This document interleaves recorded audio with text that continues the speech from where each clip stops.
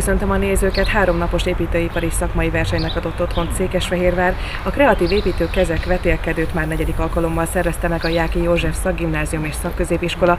Az esti mérlegben ezzel foglalkozunk, maradjanak velünk! A kreatív építő kezek építőipari szakmai versenyre összesen 11 csapat érkezett a határainkon belülről és kívülről. A három nap során elméleti és gyakorlati feladatokat kellett megoldani a versenyzőknek.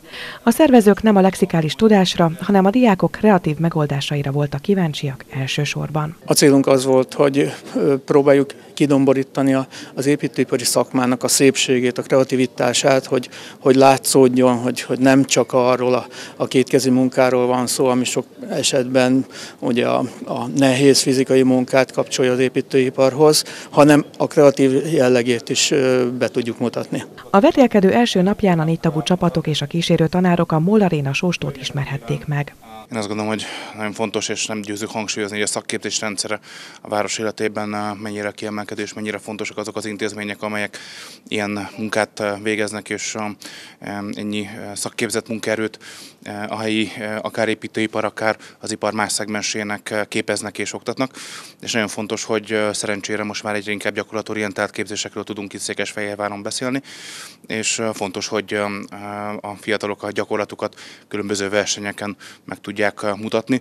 Én azt gondolom, hogy nagyon büszkék lehetünk a fehérvári eh, szakképzős eh, fiúkra, lányokra, akik a különböző szakmai versenyeken, országos és nemzetközi versenyeken kiemelkedőt alkotnak. Ezért is örülünk, hogy nem csak mennek versenyre, hanem érkeznek is és szerveznek is versenyt a helyi intézmények, úgyhogy a nyelki ebben élen jár most már évek óta nagy sikerrel rendezi ezt a kék versenyt mindig azt gondolom, hogy magas színvonalon uh, tudjuk, és hát természetesen azt gondolom, hogy miután építőipari versenyről uh, van szó, ezért uh, nyilván a megnyitót nem is tudtuk máshova szervezni, mint a legfrissebb épület együttesünkbe, építményünkbe, a Mol Arena Sóstó, illetve a Sóstó környékére.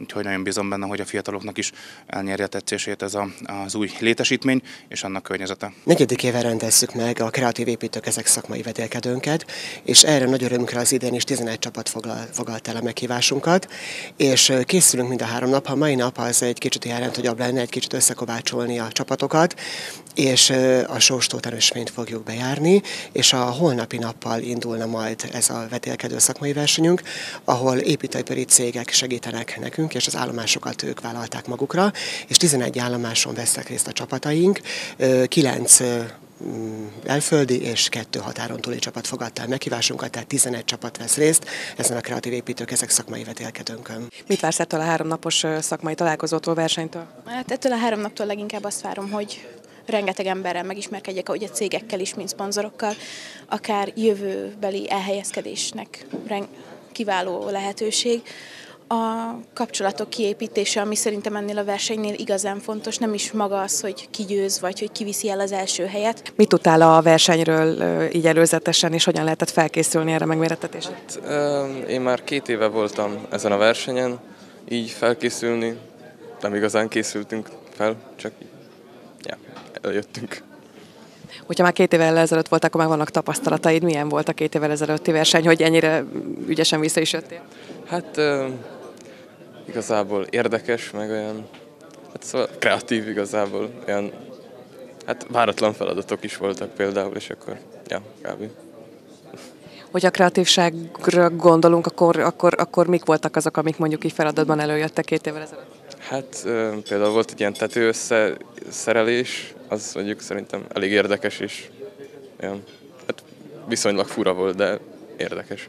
Az ismerkedés első napja után következhetett a szakmai feladatok megoldása. A 11 csapat számos versenyszámban mutathatta meg tudását. Nem is annyira verseny, hanem hogy egy kis közösségépítő jelleggel.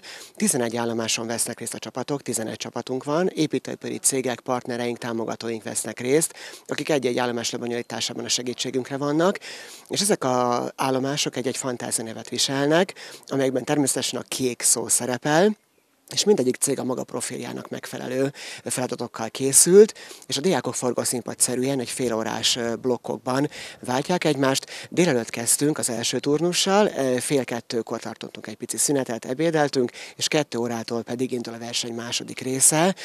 Amelyben a verses feladatoktól kezdve krumpli nyomdán is meg kell oldaniuk, mint feladatképpen.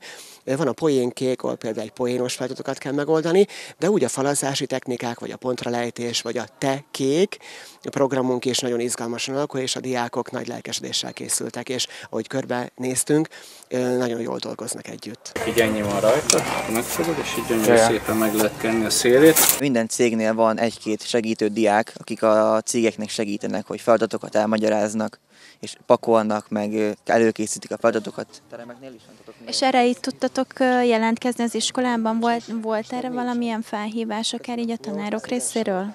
Igen, ez teljesen szabad volt, kérdezték, hogy ki szeretne jönni, és akkor lehetett jelentkezni. És a céget is ki lehetett választani, melyik céghez szeretnénk jönni. Miért azt az adott céget választottad, akinél te most itt tevékenykedsz?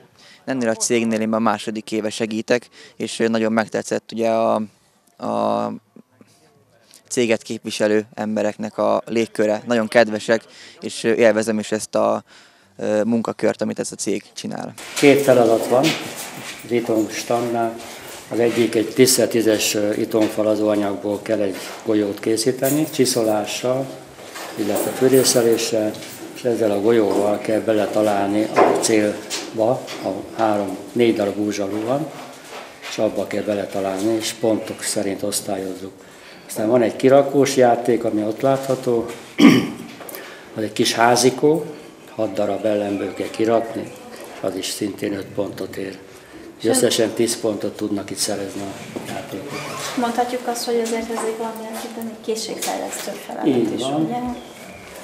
És egy logikai játék. Miben segít ez nekik? Tehát, hogy ez a csiszolás, logikai játék? Hát a csiszolás az főleg a kézügyességbe, illetve későbbi házépítkezésnél is ugye használt veszi.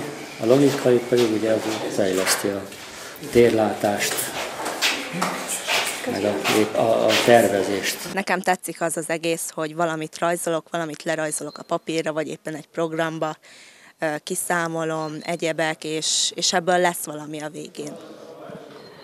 Ö, és hogyha már alkotásról beszélünk, ugye azért léteznek nőiesebb alkotó munkák, és miért akkor mégis az építészet? Hát talán azért, mert ez úgy jobban vozott, például a lányokkal sose jöttem ki valami jól, és, és jó fiúk közt lenni, jó fejek. És hogy néz ki itt egy napotok az iskolában, ugye azért, hogy láthatjuk is rengeteg a gyakorlat, hogy néz ki egy nap, mi a te, akár a te személyes kedvenc gyakorlati részed? Hát egy napon általában 7 óránk van, ez igazából gyorsan leszokott menni, Gyakorlaton talán a térkövezést szeretem nagyon, meg, meg a kőműves munkákat. Ez általában heti három órában van. Igazából minden tetszik. És miért pont a térkövezés és a kőműves munka? Talán ez jobban közelebb áll az egészhez, amit én szeretek mint az ácsmunkák, mert az a harmadik gyakszink, amit még csinálunk. A feladat, hogy egy 15 másodpercig nézhetik meg ugye a lapot, és onnan memorizálni kell ugye az egészet, és a mozaikból kell kirakni ugye a mintát. És ugye az első elem van megadva, az első két sor az első és a második sor elemeit tartalmazza, és mindegyikben van egy kakuktojás, ami nem oda illik, hanem egy másik sorban és így kell kirakni az egész mintát. És akkor ezt a mintát kell oda arra a Így van, így van. Mi, ugye? Így van. Igazából ennyi. Hát eddig a rekord az 4 perc, 30 másodperc volt, ha jól emlékszem. Az, az volt a legrövidebb, amennyi kirakták, mennyi idő alatt kirakták. És ezt csapatban csinálják? Vagy igen, igen, csapatban. Nagyon szeretem ezt a versenyt, több iskolából ugye jönnek a csapatok, külföldről is jönnek, és ez az én véleményem szerint ilyen csapat összekovácsoló ereje van az egész versenynek. A te csapatod, ők miben versenyeznek, és jelenleg hogy állnak? Az én csapatom most jelenleg éppen feladatra vár. Az előző feladatunk lapos tetőnek a szigetelését kellett megoldaniuk. Hát reményeim szerint jól fognak teljesíteni a verseny alatt most végzős vagy már. Az elmúlt évek alapján, tehát az elmúlt évekhez képest ez a rendezvény változott-e valamiben, és hogyha igen, akkor hogyan? Hát így személyes tapasztalatom szerint nagyon nem változott, igazából ugyanazok a cégek vannak, bár azért vannak különböző feladatok, de a legjobb az szerintem a közös csapatversenyek szoktak lenni itt az udvaron. Mi a szakmád pontosan, és mik a terveid a jövőre nézve, ha végzel az iskolával? Szakmámban földmérésben dolgozom, és majd technikusin mindenféleképpen szeretnék maradni, és hogyha úgy adja az élet, akkor kijutni Amerikába. Milyennek látta a hangulatot? A hangulatot kitűnőnek láttam, úgy, úgy láttam, hogy, hogy tényleg felszabadultak tudtak lenni a, a diákok, tényleg ér, megérezték azt, hogy, hogy miről is szól ez a vetélkedő, nem is versenynek hívnám, hogy vetélkedőnek, hiszen, hiszen nem, nem a klasszikus szakmai versenyt próbáltuk ide bevarázsolni, hanem a kreativitásra helyeztük a hangsúlyt, hogy kicsit másképpen kelljen megmozgatni a, a, a, a agytekervényeket. Erről kaphatunk egy utólag egy pár információt. Milyen kis feladatok tudnak példálozni, amik egy kicsit másabb voltak, mint egy átlagos vetélkedő? Például kellett olyan pontralejtést készíteni, ez egy szakmai szó, de egy olyan pontralejtést készíteni, ami, ami maket volt, és ez azt jelentette, hogy, hogy egy terepasztalon kellett egy, egy lapos tetőnek a lejtési viszonyit kialakítani, előre elkészített hőszigetelés, amit, amit megfelelő módon kiképeztek előre, ebből kellett kirakni a, a megfelelő idomot. Ez volt például az egyik klasszikus, vagy, vagy különleges úgynevezett transzlétánk volt, ami, ami angol és német nyelven kellett fordítani szakmai szövegeket, de nem a hagyományos módon, hanem különleges játékos megoldások voltak benne. De hát 11 versenyszám volt, és plusz egy a, a 12. közös nagyjáték, ez pedig talicska építés és, és talicska tolás, különböző anyagokat készítettük előre, amiből tényleg egyedi ötlet alapján kellett előállítani a, a, talicskát, és végig tolni itt a sportpályán a, a három darab nagy betonelemet. A 11 ö, csapat láttál, a munkája láttál, mit gondol, milyen jövőre néz ez magyar építőipar?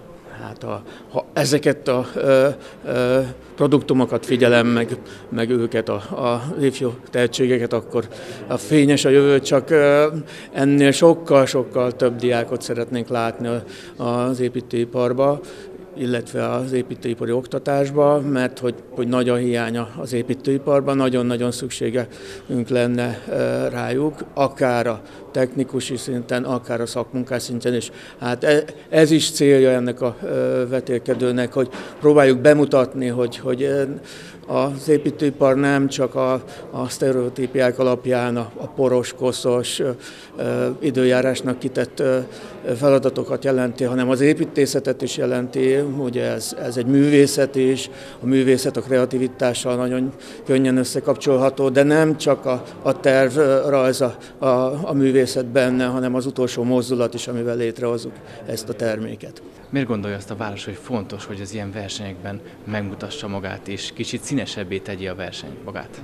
Sokat beszélünk arról, hogy nagyon sokféle szakmának vissza kell adni a becsületét, és ez az oktatáson belül is meg kell, hogy jelenjen, de ahhoz azt gondolom, hogy kellenek ilyen rendezvények, ilyen versenyek, ilyen közösségi programok is, hiszen miközben ez egy verseny volt, én úgy láttam a fiatalokon itt az elmúlt napokban jól össze is barátkoztak, tehát egy igazi közösségépítés volt. Tudjuk, hogy az építőiparon belül nagyon komoly szakember hiány van, de azt is tudjuk, hogy az oktatásban ezen a területen is Fehérvárnak szép hagyományai és nagyon jól működő intézményei vannak, ezért fontos, hogy a Ják évek ezelőtt életre hívta ezt a versenyt, és hagyományt is teremtett.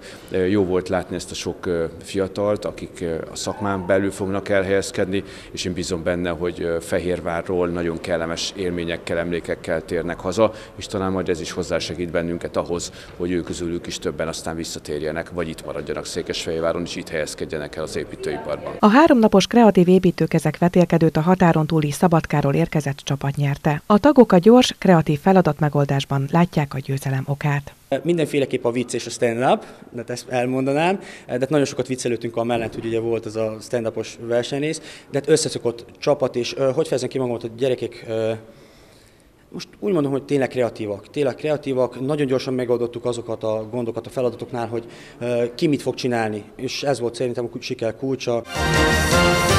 Köszönjük a figyelmüket, holnap ismét várjuk Önöket, viszontlátásra!